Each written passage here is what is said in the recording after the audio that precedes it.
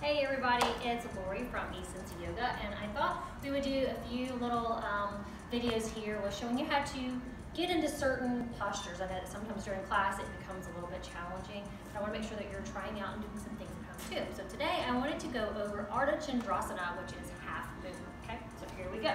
I know, you're like, yeah, I love half moon, I practice this all the time, right? So let's start out in down dog. So if you haven't stretched out yet, make sure you give a little stretch out first before you go into this because it is a lot of legs and hips and arms and so you don't want to just jump straight into this. So here's our down dog. Let's start up by breathing in and taking our right leg up high, exhale, swing it on through.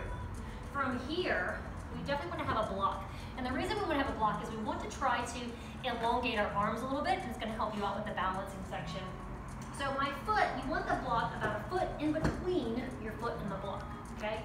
So when you rise up, placing your hands onto the mat, breathing in, lifting up that back leg. Go ahead and grab that block, measure it out, see where it feels good. I'm gonna move my feet up a tiny bit right here.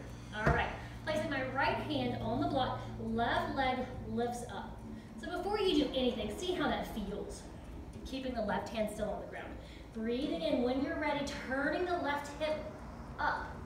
Keeping a soft little bend in that right leg so you're not pushing back into the joints.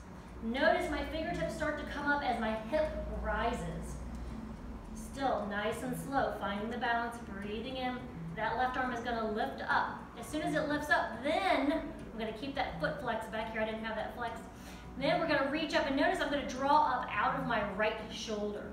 So breathing in, lifting up a little bit higher. And here we are in half moon.